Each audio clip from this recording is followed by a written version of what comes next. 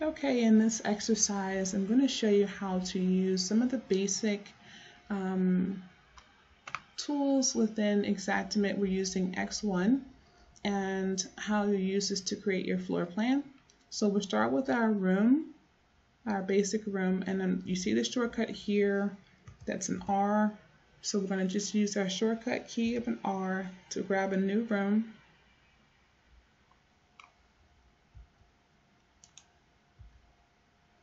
And we're going to pop that in.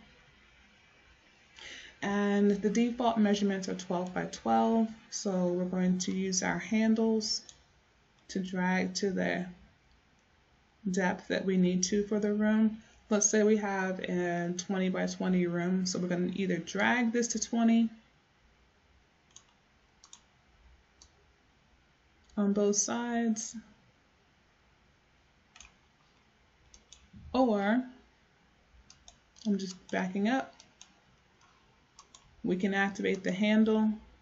All I did was click one time with my left mouse key and it activates this wall here. You see the arrows pointing to this wall, so we can just change the measurement here on the inside wall to 20. I'm going to activate this wall. Same thing happens, 20. So that's how you create a room, okay?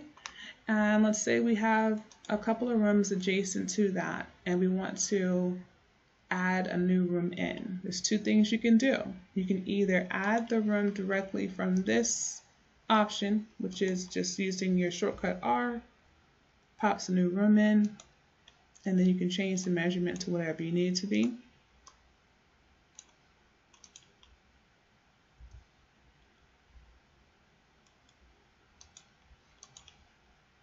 Okay? Or you can use uh, what we call the break tool, and the shortcut is the square break is the B here.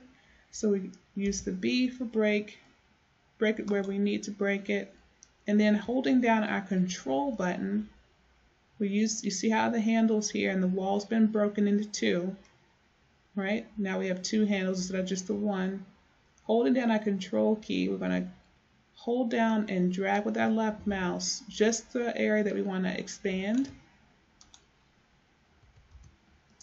Change our measurements the same way. Now for this, unless we want to break this new area into two rooms, we can just go to this control, sorry, go to this handle, hit the control button, and drag that out and we accomplish the same thing. You know, we have our different rooms.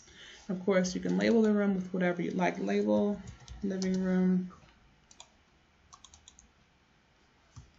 Who knows what these are. Depends on the floor plan and for wherever you go.